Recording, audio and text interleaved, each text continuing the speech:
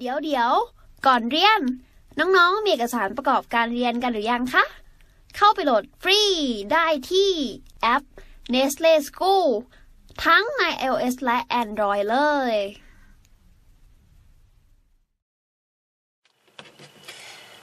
ข้อ 14 นะคะ which of the following is a value of x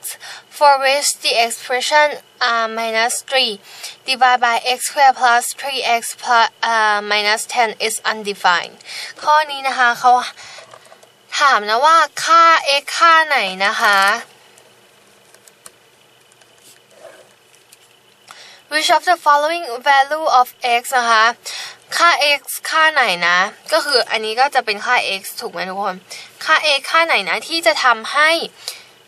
ลบ3นะคะ ส่วน x กำลัง2บวก 3x ลบ10เนี่ย undefined นะคะ ก็คือหาค่าไม่ได้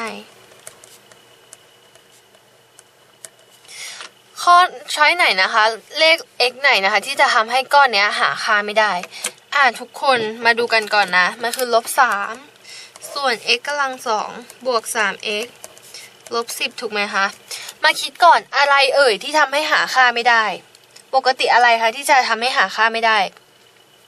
เวลาเป็นเศษส่วนอย่างเงี้ย อะไรหาค่าไม่ได้คะ ส่วนเป็นศูนย์ถูกไหมทุกคน ข้างบนเป็นอะไรก็ตามนะ ข้างบนเป็นอะไรก็ตามนะ ถ้าส่วนเป็นศูนย์มันจะหาค่าไม่ได้เนาะถูกต้องไหมคะ อันนี้เนี่ยก็ต้องรู้ไว้นะคะ อีกแบบหนึ่งเนี่ยก็คือเป็นศูนย์เนาะอีกแบบหนึ่งก็คือได้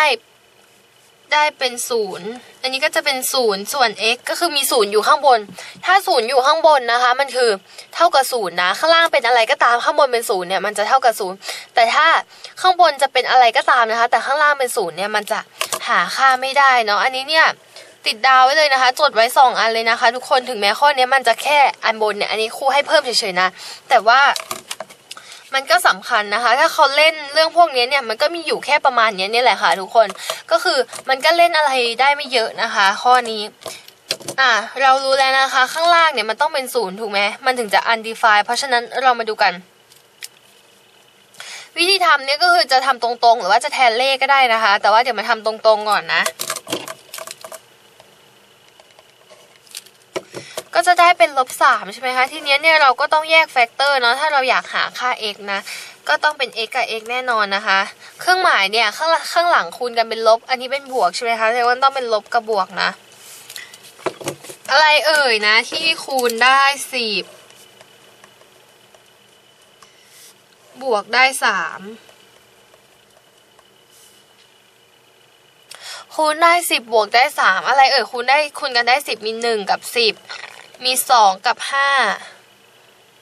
หมดยังคะหมดแล้วเนาะมีแค่สองคู่นะ เพราะฉะนั้นเนี่ยแน่นอนเลยต้องเป็นสองกับห้าใช่ไหมคะ ทีนี้เนี่ยเป็นมันเป็นลบห้าบวกสองหรือลบสองบวกห้าคะมันเป็นลบห้าบวกสองหรือลบสองบวกห้าต้องเป็นลบ สองบวกห้าถูกไหมเพราะว่ามันเป็นบวกสามนะคะ ดูลบสองบวกกับห้าก็ได้บวกสามลบสองคูณกับห้าก็ได้ลบสิบเนาะเพราะฉะนั้นเนี่ยข้อนี้เนี่ยปกติข้างล่างนะคะ เราจะพยายามทำให้ข้างล่างเนี่ยเออไม่เท่ากับศูนย์ใช่ไหมแต่ที่นี้ฮะเขาเขาไม่ต้องการแบบนั้นนะคะเขาต้องการให้ข้างล่างเนี่ยมันเท่ากับศูนย์นะอะทุกคนถ้าอยากให้ข้างล่างเป็นศูนย์เนี่ยทำไงดีคะเราก็จับก้อนเนี้ย เท่ากับศูนย์ใช่ไหมทุกคนก็คือ x ลบสองคูณกับ x บวกห้า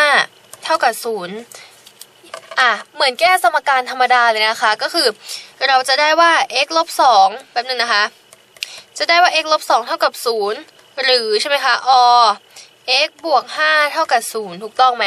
ก้อนใดก้อนหนึ่งเป็น0เนี่ยมันก็จะได้0แล้วถูกต้องไหมคะถ้าอันนี้เท่ากับ0เนี่ยคูณกับอันนี้ไม่ว่าจะเป็นอะไรก็ตามมันก็จะเท่ากับ0เช่นกันนะคะ ถ้าก้อนนี้มันเท่ากับ0ไม่ว่าอันนี้จะเป็นอะไรก็ตามคูณกับอีศูนย์เนี่ยมันก็จะเท่ากับ0ถูกไหมเพราะฉะนั้นเนี่ยเราก็จะได้ว่า x ลบ2นะคะบวก 2 ทั้งสองฝั่งเนาะได้เป็น x อันนี้ก็เป็น0นะคะเท่ากับ2เนาะอีกอันนึงก็คือ x เท่ากับลบ ห้านั่นเองถูกต้องไหมลบห้าบวกห้าก็ต้องได้ศูนย์นะคะ จบแล้วนะข้อนี้เนี่ยตอบว่า x คือสองหรือ x คือลบห้าก็ได้นะคะ แต่ choice เนี่ยมันมีแค่ x เท่ากับ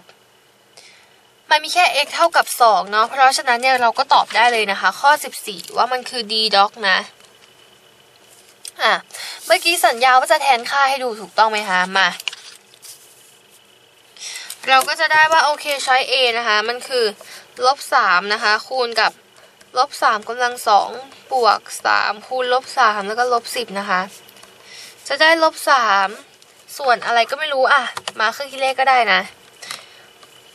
ลบสามคูณลบสามนะได้เก้านะคะ บวกกับบวกกับสามนะ คูณกับลบสามใช่ไหมคะแล้วก็ลบกับสิบอะเอาทีเดียวเลย เป็นลบหนึ่งนะคะสามลบสามส่วนลบหนึ่งได้สามเนาะก็หาค่าได้นี่คะถูกต้องไหม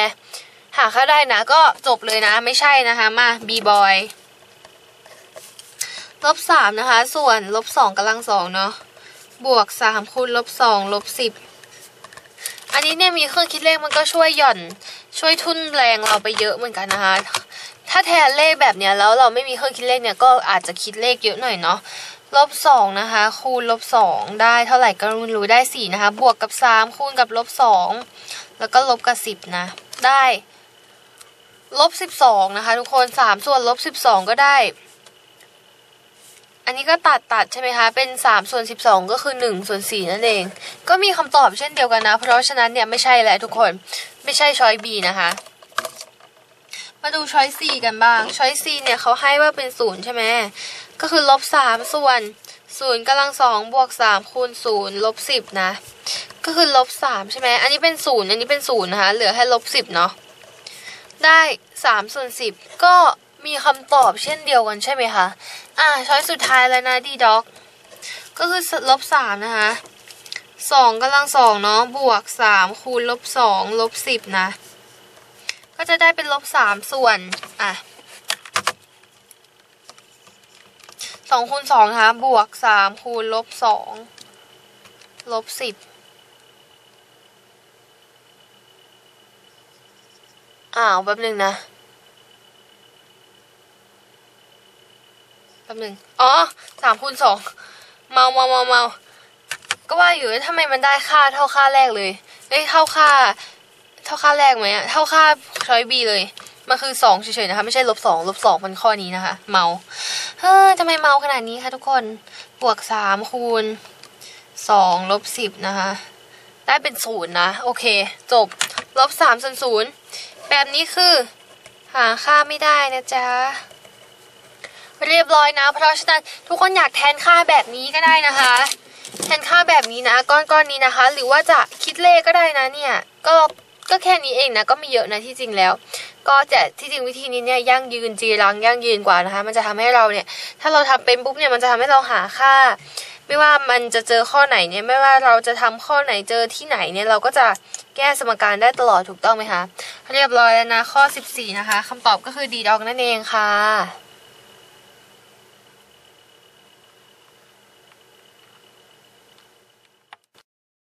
เรียนจบแล้ว อย่าลืม เข้าไปฝึกทำข้อสอบแบบจับเวลา ในแอป Nestle School กันด้วยนะจ๊ะ ถ้าน้องๆมีคำถามสงสัย ไม่เข้าใจตรงไหน ถามว่าในแอปได้เลย แล้วพี่ๆจะรีบเข้าไปตอบให้นะคะเดี๋ยวนี้น้องอิงค่ะสาร์อาทิตย์นั่งดูความรู้อยู่ที่บ้าน โห สบายจัง